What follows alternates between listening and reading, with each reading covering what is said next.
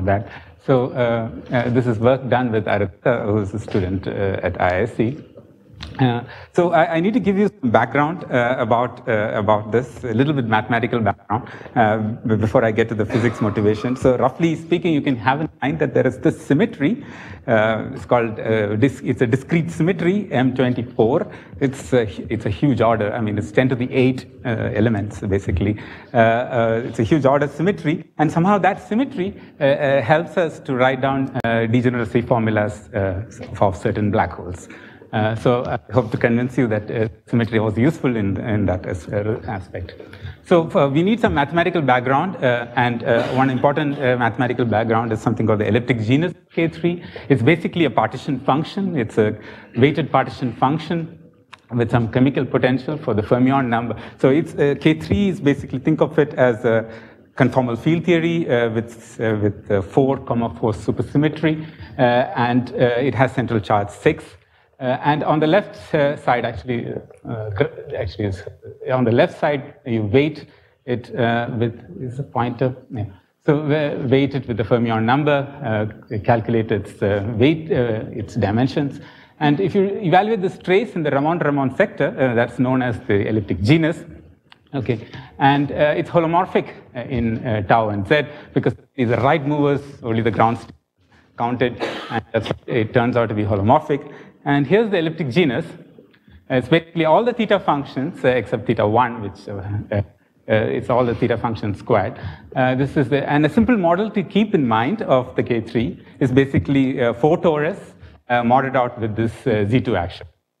Okay, this is a simple example. In fact, you can do this in terms of this free orbifold. You can calculate this trace and you will wind up getting this answer. Uh, and another important fact about the K3 is the Hodge diamond of the K3. Uh, here, uh, these are the of the Hodge numbers. These are the left holomorphic, right holomorphic Hodge numbers. And uh, this number, H11, is two. If you sum all that, you get the Euler character, which is 24. And what is the connection with uh, this Mathieu group, M, uh, discrete symmetry group, M24? It, it was seen, of course, in the elliptic genus. And to see that, you have to rewrite the elliptic genus in terms of the characters of the n equals 4 superconformal algebra. I mean, you don't need to, I mean, I will define this so that you can just think of it as an algebraic idea. Uh, so here's the elliptic genus. And what you have to rewrite it is basically uh, into, uh, into characters of this kind. Okay, uh, This is the short representation of the n equals 4 superconformal algebra, and this is the long. And uh, this is the way it is rewritten. Okay, So there is the short part, and then there is this long part. But this long part, uh, you know, uh, is basically weights over the vacuum. I mean, it has weights over the vacuum, this n plus quarter. Uh, and, uh, and the long part uh, is basically, uh, you know, weight, I mean, summed with some coefficients an. Okay. And this an, apart from the first term, was noticed to have a pattern. And the pattern which it was noticed is that, you know, they are mentioned uh, irreducible representations of this group, M24, uh, uh, you know, basically trace of the identity, that, that is the dimension of the representation over, uh, you know, various representations. Uh, there is a grading of the dimension of the size of the representation, and as you go higher, higher up in the L naught level, uh, in the N level, you'll have to see bigger and bigger representations, and somehow these numbers had to do with representations of M24. So this was noticed by this uh, Eguchi, uh, Ooguri, and Tachikawa. And uh, yeah. on the left, on the right, yeah, yeah, yeah. Actually, maybe I got it uh, flipped, but I mean, uh, uh, so this is the uh, so. so this is the pattern they noticed, okay, that the elliptic genus can be decomposed in this fashion. Now, uh, now, there are other things one needs to know a little bit more. Uh, th there are certain quotients of this K3, uh, uh in which, uh, uh, you know, the Zn quotients, I think technically they're called inequivalence quotients. So these quotients, basically what it does is reduces the Hodge number. So for instance, this is the original one, 20, and there is this Z2 quotient, which reduces it to 12 basically the H11 Hodge number, the middle Hodge number is cut down. The rest is kept uh, intact. The middle uh, number is uh, cut down. It sort of goes. So these are the single digit primes. Uh. in fact, this formula works for primes. Okay.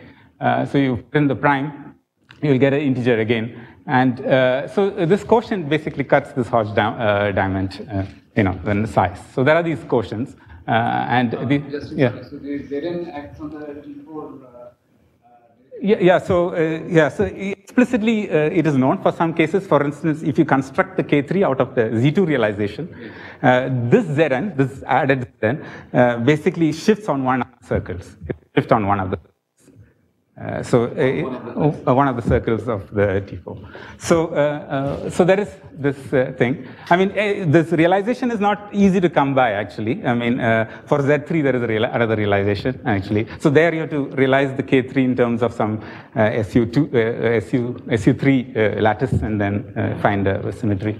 But in the there is just deform or it just changes the size of the of the circle? Of the circle, of the circle. I mean, it. So it takes it one, one inch the length. Yeah, one. Yeah, it's it sort of all shifts. One. Yeah, all, all uh, it shifts in one of them.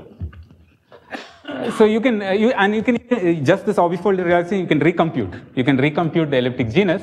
Uh, and in fact, for such quotient, suppose there is this quotient, uh, this quotient, you can, I mean, if it's the quotient of a conformal field theory, you can uh, compute basically the insertions of that action uh, or the, and towards also the twisted sectors. So there are uh, these kind of, it's called a twisted elliptic genus, basically twisted by that action uh, and together with the insertion. And that also admits an expansion of this kind. And this uh, twisted elliptic genus was constructed for uh, all these prime quotients okay, earlier on. There was a motivation for constructing them, but it was constructed earlier. Okay. If I'm yeah. very naive, it would seem that if the T is there just yeah. Just reducing the size of the circles that hasn't changed any. No, it doesn't. Uh, actually, okay, the way it is, uh, the full way it is acted is basically uh, you have to sort of, uh, I mean, uh, you know, there is another, I mean, the way we com computed it is there is another circle. Okay, there's another circle, uh, and you know, it's it's a shift of both the circles. There's an extra auxiliary circle which you have Having to consider. To do with the twisted sector. Yeah, it has to do with the twisted sector. So in fact, here is a formula for n equals 2. It basically keeps these. It keeps, I mean, okay, there are three factors. It keeps, uh, you know, it keeps, so the twisted sectors for the Z2 orbifold keeps these uh, one, two, three. I mean, it keeps these separate ones. Okay. Uh, so there is these uh, quotients and, uh, you know, and we have constructed it for these cases. Okay. Now, uh, now, you know, how does this M24, uh, how, what is this M24? The M24 symmetry was seen without the quotient first. But in these quotient cases, uh, so there is a notion of uh, twining character. Okay, Twining character is basically the F01, just F01. And if you decompose that F01 exactly like the way you decomposed it, uh, decomposed uh, uh, the, you know, the full, the unorbifolded K3, here is this decomposition. And now read out these coefficients. Read out these coefficients in decomposition. Okay. Uh, so there are some numbers like this. You can rewrite that. So yeah. F01 is twisting in time or something? No, no, it's just uh, insertion. Yeah, just the insertion. Yeah. Uh, huh? F01 is. Uh, F01, yeah, the way this is R and this is S. So one is in one circle, the other is in the other circle. Right? This one, uh, well, this is the twisted, twisted circle. So when you just go go around and then you uh, have to twist. This is just insertion of the operator. So that's in the space, I suppose. I mean, I don't know. I mean, uh, yeah, yeah. time. Insertion is the time. Okay, insertion is yeah. Insertion is the time because uh, because you evolve it and then yeah then. Yeah. Uh, so uh, so you look at F zero one. F zero one.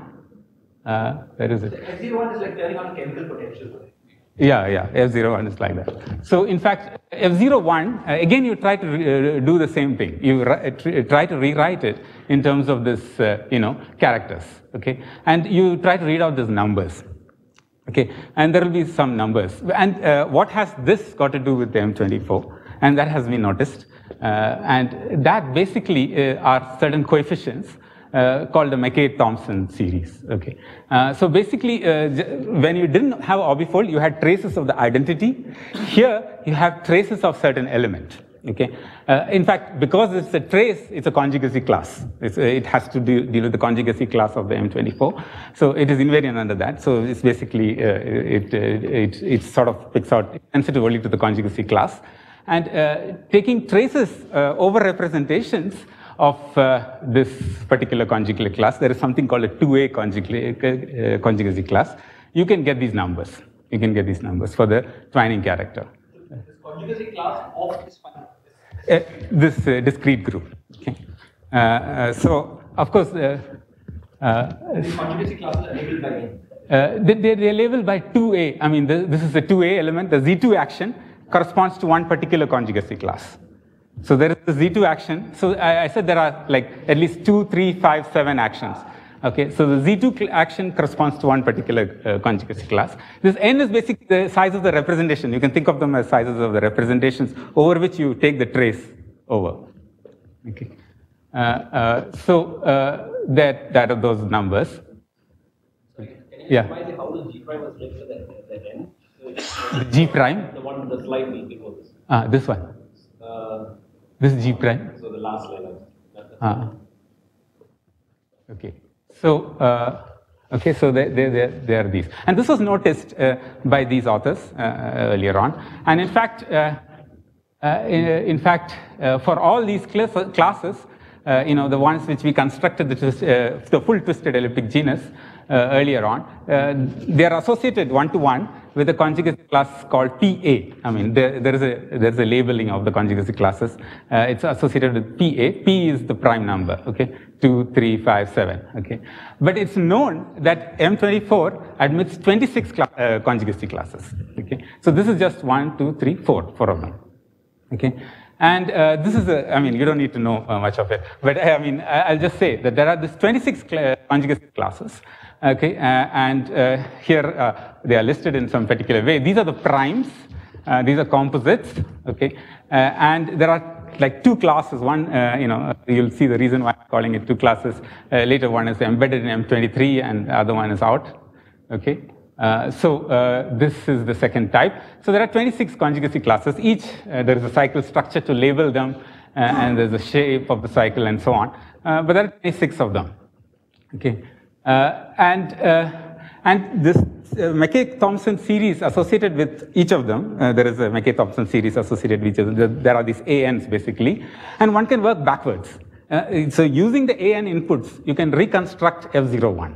Okay, and that's what these guys did. Okay, so they reconstructed F01 uh, for uh, you know for each of these 26 classes. You can write them in closed form, and uh, these were constructed by these guys. Okay, uh, so uh, there, you know, but though you have only the twining character, but in principle, I mean, you know, uh, that's what we will try to do. Uh, that uh, giving the given the twining character, so uh, you know, uh, because it can be re, uh, reconstructed from those information. Can we find the full elliptic genus for these quotients? So, in principle, there exist these 26 quotients of K3, which is associated with uh, 24, uh, and you know we would like to construct the you know the full elliptic genus for them. Okay. Uh, so given this uh, F01 for the 26 one, we did only four. Uh, uh, so can we construct the full uh, uh, all the elements of the twisted elliptic genus for each of these 26 classes? And so how do we go about doing that? So basically we use these modular transformations. Okay, so here's this modular transformations are very natural transformation when you think of them as CFT. So this is a modular transformation obeyed by the elliptic genus. Okay, and and this particular, uh, you know, there is a relation uh, between this RS, uh, some twisted sector, towards some other transformed twisted sector in this manner. Okay. For instance, uh, if you substitute ABCD for like the S transformation, the 0, 1 sector, which is basically the twining character, okay, is related to the 1, 0 twisted sector. But this relation, uh, you know, if you see this relation, you'll see that the 1, 0 is obtained at, you know, uh, uh, minus 1 by tau and z by tau. So it's uh, obtained at minus 1 by tau and z by tau. Uh, so, uh, so this is the a method. Like you take 0, 1 sector and somehow use modular transformation and try to reconstruct the full uh, elliptic genus. Now, there are two technical obstacles uh, in doing this. Okay, so for practical purpose, we just don't want this relation.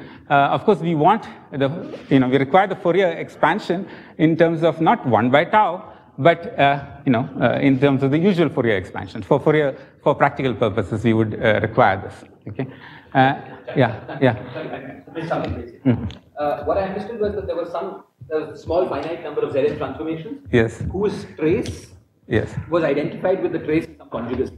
Yes. Yes. Then, uh, then I understood that there were more elements in the conjugacy class. There are more conjugacy classes. so I thought you would have to identify new symmetry operations on the on the elliptic genus.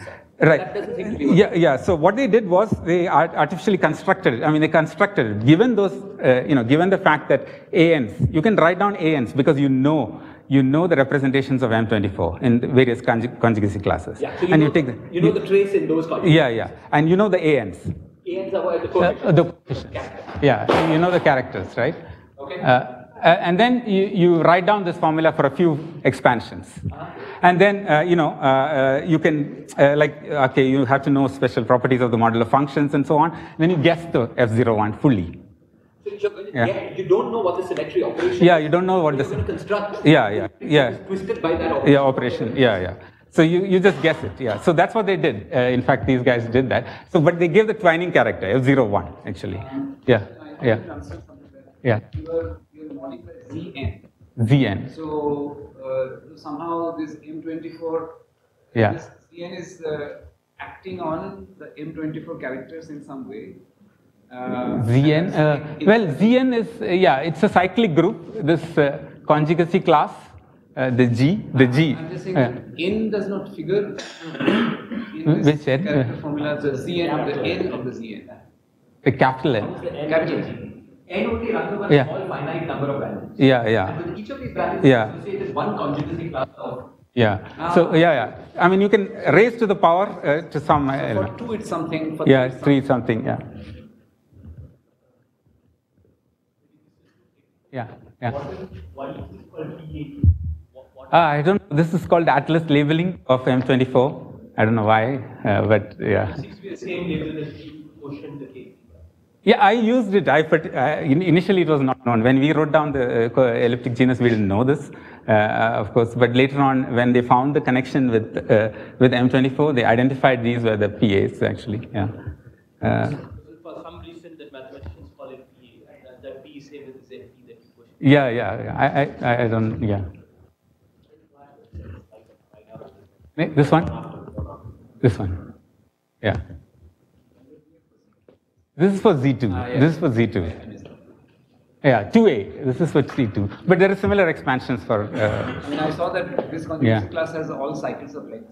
yeah, yeah. So because uh, if you uh, if you raise it one more time, it becomes. Yeah, yeah. That was for the unorbifolded case. This is this is where trace of identity is done, uh, and the other one is where traces of some G prime over the uh, G prime uh, corresponding to some conjugacy class. Where is that? Ah, uh, a particular conjugacy class 2A done. So that conjugation class Yeah. is fixed by the choice of the uh, prime number yeah, I mean, you know, you notice that uh, you notice that it is associated with that particular conjugacy class. Yeah, yeah, yeah, yeah. Uh, but, uh, okay, later, of course, they generalized. I mean, this was the generalization. Uh, and uh, so, given this twining character, okay, uh, so we want to construct a complete uh, twisted elliptic genus, and uh, so that uh, you know we do using basically modular transformations. Okay, we do using modular transformations. And, uh, uh, and in fact, for modular transformations to be practically useful, uh, you see that this is like you know minus one by tau, but we want a Q expansion. Uh, and so we need identities involving modular forms uh, to obtain this, uh, you know, the complete thing. And you know, the samples of identities which we derived are such kind. I mean, you know, this is a particular modular form. This is like one by tau, okay, and you can relate them like this. Here's another one. Uh, you know, these are the sample uh, identities one had to derive to construct this, uh, you know, from F01, we have to go to the, uh, the other ones. This is for all the other ones. We want to do all the 26 classes, okay? Uh, so just not just the PA. Yeah, yeah, twisted elliptic genus. yeah. You're going to put it on this cycle, this cycle, see. and all of the cycles, all of the, All of the, all of the P, Q cycles where P and Q are relatively random. Uh, well, uh, so okay, so let's see. Trace. So suppose there is one some action. So for the action, okay. So you'll have to uh, you, use the same thing e to the power of two pi l naught and so forth. g to the r and g to the s. So this is twisted, and this is with the insertions. Okay, trace. Uh, okay, so this is f r s. Okay. Oh, r. This is labeled by SN. Yeah, yeah. Yeah, and the twining character is F01, which, which has just the insertion.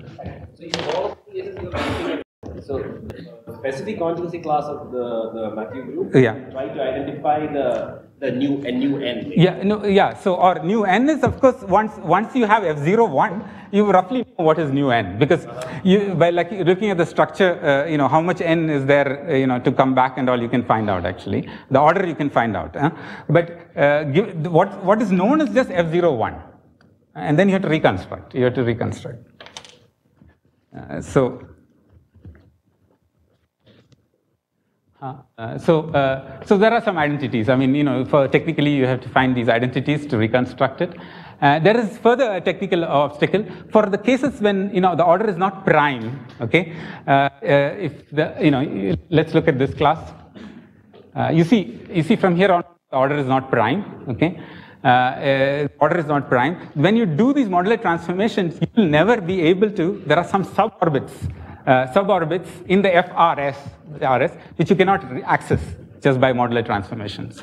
Uh, so there are suborbits.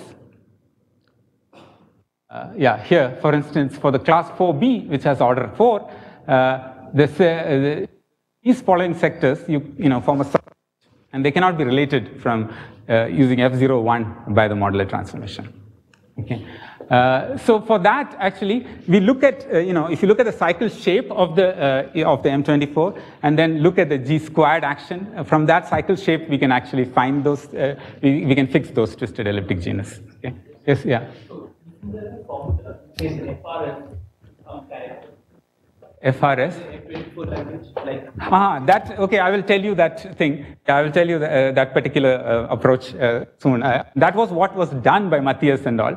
But they get a, just a Q expansion. Uh, you know, by systematic way, they get a Q expansion. But we get closed form expressions using this. Uh, limited, but in many of the cases, we get closed form expressions. Okay. So using this fact that uh, uh, this, even in the suborbits there is some M24 uh, cycle structure, we can fix those uh, twisted elliptic genus there. And, uh, and for, the, uh, for certain cases, even that method doesn't work. But there is another method, like, you know, you have to, certain symmetries were noticed by these people. And using that, we fix another class, 2b and 3b. Okay. So, but I'll tell you, uh, that, I mean, using various, uh, uh, using these three approaches, basically we fix closed form expressions for all the classes in the table one I've given you, and the first two classes of uh, uh, table two. And in fact, they are closed form expressions, uh, not Q expansions as it was known earlier, but closed form expressions. Okay, uh, and uh, and using that, we can evaluate Hodge numbers for these these uh, composite objects, okay, and we can actually identify what were known to be CHL orbifolds earlier, okay. So a class which was known in string theory earlier uh, was identified uh, here in this way. So, uh, so uh, let me just actually summarize this part, okay, by saying that uh, using modular transformations and some symmetry properties, we fix the twisted elliptic genus completely from here to here, and the first two classes of these two. Okay. Uh, but I think Matthias and group have the full thing, but in terms of just Q expansion, using the method which you sort of said. Yeah. So, uh, uh, so that's the summary of that part. Now, uh, okay, so this is, uh, uh, yeah, so let me just, just sort of say some qualitative things about it. So, first, the twisted elliptic genus were shown to exist and constructed using this symmetry, and many of these are not actually geometric quotients, actually, as we, uh, as in the other cases we saw, in some of the cases we know. Uh, they are not geometric quotients, okay? In fact, for this class, even the Kähler form of K3 is projected out, and uh, these are the sort of non-geometric one. But in one case, there is a CF construction of this, uh, this twisting. Yeah? Using the 11 can obtain what would have corresponded to the Hodge number H11. I mean, 11A, suppose you have the 11A twisted, so you can read out from the coefficient what is H11. It turns out H11 is 0. So, Hodge number H1 equal to 0. Yeah, it, it is equal to 0. Uh, so therefore, I mean, H11, that one, one, one of them is a Hodge number, actually, uh, is the Kähler form, so that's gone, actually. Uh, so, Uh, so there are non-geometric ones, and in fact, there is some explicit constructions of these things, uh, you know, using uh, these Wess-Zumino-Witten models at uh, level one. Okay, but what is the use of all these? I mean, so we had we had some few, uh, you know, single-digit prime ones, but you know, we can construct all of these things, and uh, what's the use of these twisted elliptic genus? And here's the use, which I will show at least. Consider this, uh, uh, you know, compactification 2a or 2b on K3 cross T2, where this Zn quotient acts as this quotient uh, which which acts uh, some, as a some action on K3, which gives this twisted elliptic genus, uh, together with a 1 by n shift along the circles of S1. So this is the quotient we are constructed. And this compactification preserves n equals 4 supersymmetry. Okay? And, and therefore, we have a whole new class of n equals 4 string vacua. Okay. And this generalizes those vectors which we had studied earlier on, uh, which was only single digit prime quotients. Okay. And each of these vacua uh, admit quarter BPS states. Okay. And uh, these are dyons. Uh, they have both electric and magnetic charges. Okay. And for large charges, uh, they do become uh, supersymmetric black hole solutions.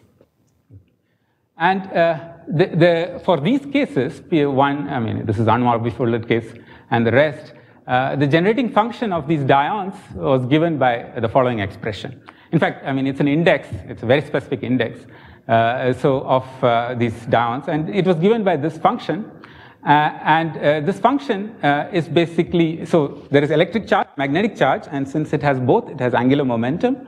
And these are the, like, you know, the chemical potential corresponding to the electric charge, chemical potential corresponding to the magnetic charge, and this is the angular momentum. Uh, and there is a generating function, which is the inverse of another modular form. Okay? Uh, and uh, doing this integral, uh, you can extract out this degeneracies of these uh, uh, black holes. This is the Igusa generalization of that, uh, which we did uh, for all those uh, two, three, five, seven cases with Ashoke earlier, actually. so, so it's, it's that. But now, now that we have, you know, a whole set of quotients, uh, we can, uh, you know, we can, uh, so there is this definition of the contour. Uh, we can ask, uh, you know, uh, what is this, you know, what is this formula? And a whole set of vacua, what's this formula for, is what is the generalization of this formula for, for this particular compactifications, for all these general compactifications. And so I didn't tell you what this function, generating function was. Uh, this generating function was, uh, is known to be a Siegel modular form. And what is the input to construct this uh, generating function? The input is this twisted elliptic genus. So here is the R, so it's basically the Fourier expansion of the twisted elliptic genus. Uh, uh, when you like, you know, when you consider this infinite product with these coefficients, these are, you can think of them as generalization of the eta function, uh, but the infinite product has various weights, okay, and these coefficients uh, are read out from the twisted elliptic genus and can construct the modular form out of that. B is for uh, like splitting into odd or even. It'll have to be little. I mean, to, there is a split between odd. So when J is even, uh, you have to take the even one. I mean, uh, it's a split of odd. So uh, uh, so there is this particular, okay, so this was shown for all the PA cases, okay. And in fact, there was a counting formula. In fact, we had shown that you can relate it to the, you know, D1, D5 system and obtain a counting for this. Uh, I mean, show that this is the counting function for these de degeneracies, for these, you know, dyons. And they have a particular modular property. it's a generalization of the SL2 modular property, Okay.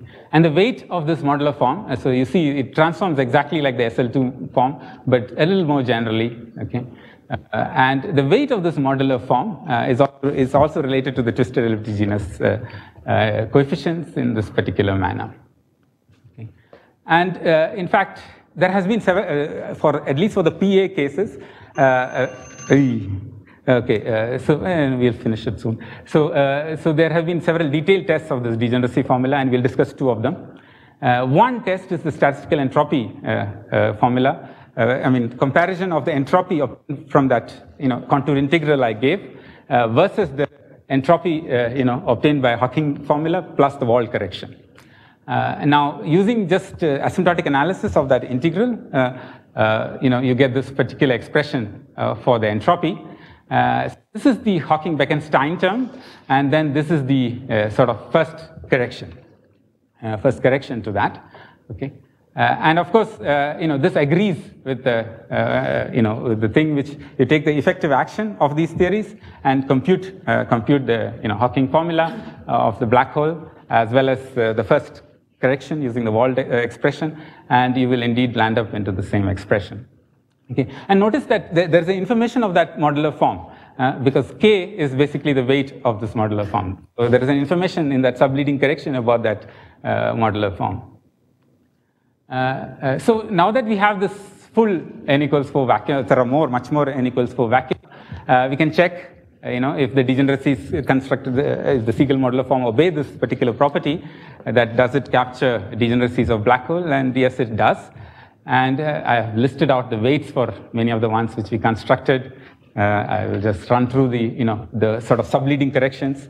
So there's a set of subleading corrections uh, which, uh, which it has and which can be evaluated. But secondly, there is a much more stringent test, actually. Uh, the stringent test is these, of course, must be integers, which of course it passes uh, these coefficients. but it was also conjectured by Ashoke that for single-centered black holes, and due to spherically symmetric, uh, symmetry uh, and regularity of the horizon actually, uh, the angular momentum is carried only by the zero modes. Okay, and that translates to the fact that for single-centered black holes, this index must be positive. Okay, and and you know a sufficient condition which ensures that uh, ensures this property is this particular thing. You take these charges, uh, this particular uh, you know domain of charges, and you to, which ensures that it's single-centered. Uh, so, and you calculate these coefficients, okay, and the Fourier coefficients from the Siegel modular form should be positive. Okay? And this is quite a non-trivial condition, actually, for these Fourier uh, inverse of this modular form. And in fact, uh, for the just the non-orbifolded cases, for certain classes of charges, it was proved by these guys. But for these orbifolded case, Ashoke just, uh, you know, explicit computation of the Fourier coefficient, he listed them out. And uh, he showed that, you know, it is indeed positive. Okay? And uh, since we have constructed explicitly all the twisted elliptic genus, we can evaluate these Fourier coefficients, okay? Uh, because there is a formula for the generating function. And uh, you know, here is the list, and you can see once it gets into the domain, it becomes positive. This is for B, 6A, again, uh, 8A, uh, 11A, 14A. Uh, I mean, you can see that it, it has that particular property. Uh, that it's positive. Uh, and it's, uh, and it's surprising actually because many of them are not geometric. and, and also we checked the mathematical program against what Ashoke had. Ashoke had a list and we also matched our list. And, and it's also interesting to note that uh, these non-geometric orbifolds have also satisfy these positive constraints. So they're indeed good candidates, strong candidates of generating functions for the black hole degeneracy. So other applications I'll just quickly mention that you know you can construct compactifications for the heterotic string on K3 cross T2 with this orbifolding. And these generalize certain compactifications which are studied in the early days of n equals 2 dualities, which is basically K3 cross T2. And the spectrum and the one loop effective action for gauge sectors were evaluated in these papers. And right now we are looking at actually the gravitational sector, uh, in particular this particular couplings. And uh, these are like higher derivative couplings which we can compute uh, for these compactifications. And and what this uh, moduli uh, dependent function has is basically uh, they are called they are called topological amplitudes and and in fact they contain information of what is known as Gopakumar-Vafa invariants and it'll be interesting to find generalization of this uh, invariance for these twisted uh, vectors. Okay, that's